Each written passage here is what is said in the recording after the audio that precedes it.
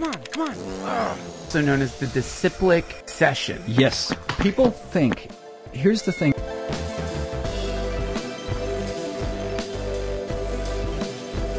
And intelligences that you then absorb into your energy system, into your aura, to make you grow, make you change. That cat just sloshed me. That's the mama cat. She's a prankster.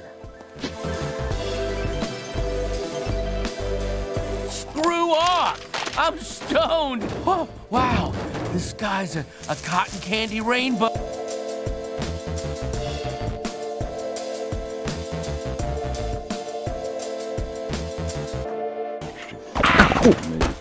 The body you could just hang out with. You probably should hang out with her or him for a while.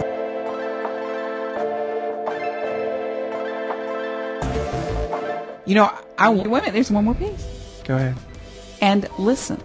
So you cinch your arms and legs, you look, and you listen, all at the same time. Okay, we're hoping to become actresses very soon, just FYI, world.